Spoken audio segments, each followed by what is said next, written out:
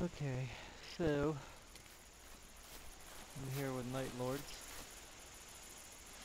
Um, we're just checking out some uh, rex over here that we know are here. So just gonna do a little run with them.